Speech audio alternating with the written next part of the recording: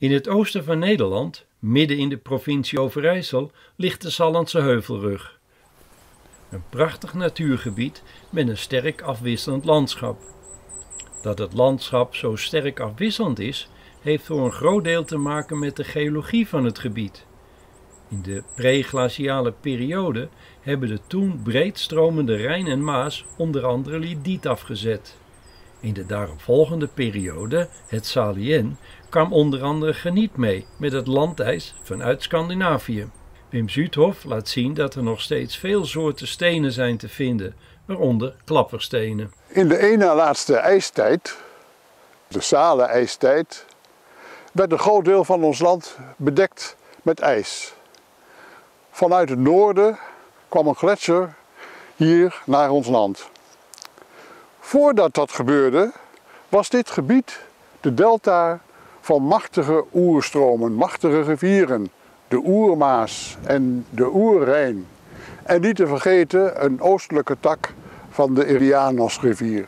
In die delta hoopte zich zand en grind op. En het meeste materiaal wat je hier ziet, is dus zand en grind dat door die rivieren is neergelegd. Toen de kou begon, bevroor dit gebied. De permafrost trad in. En het werden dikke, harde lagen zand en grind.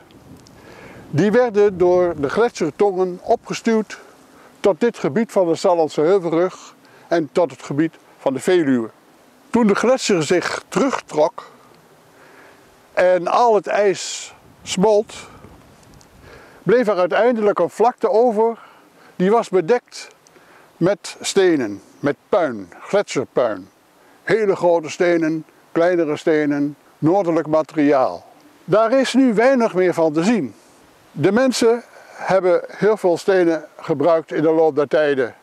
Denk maar aan de hunebedbouwers die de grote stenen wegsleepten en er op ingenieuze wijze hun hunebedden van bouwen. Denk aan de kerkenbouwers in de middeleeuwen die de fundamenten van de kerk opbouwden uit grote keien, uit grote zwerfstenen.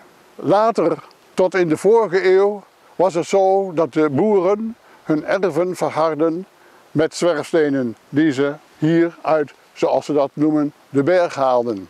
Burgers, dorpelingen, eh, plaveiden hun stoepjes met die zwerfstenen. Heel veel steden ook gingen naar het westen van het land. Vooral toen in de 17e eeuw de paalworm ervoor zorgde dat de dijken in Holland verzwakt werden. Ter versteviging werd toen stenen materiaal uit Drenthe en uit, hier uit Twente en uit Veluwe verzameld en daar naartoe getransporteerd. Heel veel stenen zijn dus verdwenen. Maar we moeten niet vergeten dat in de laatste ijstijd, toen hier grote, uh, zware poolstormen woeden, zand uit uh, het drooggevallen bekken van de Noordzee werd verspreid over het land, waardoor het hele land bedekt werd met dekzand. En heel veel van die zwerfstenen zijn dus ook door dekzand bedekt. En wanneer je gaat graven, dan komen soms die stenen toch weer tevoorschijn. Dat is bijvoorbeeld hier het geval. Hier zijn door Staatsbosbeheer kuilen gegraven voor uh, hagedissen. Om die uh, schuilgelegenheid te bieden en een plek om te zonnen. En daar bleek bijvoorbeeld dat we daar nog steeds materialen kunnen terugvinden. Zoals bijvoorbeeld graniet, noordelijke zwerfstenen. Die hier destijds dus met de gletsjer naartoe zijn getransporteerd. Zo uh, ontdekten we dit makkelijk splijtbare gesteente. En dat is waarschijnlijk een Nexeu zandsteen. Een uh, kwarcitische zandsteen die makkelijk splijt. En die wordt tot op de dag van vandaag wordt die steen gewonnen op het eiland, op het Deense eiland Bornholm. En daar uh, worden ze verkocht als flexstones.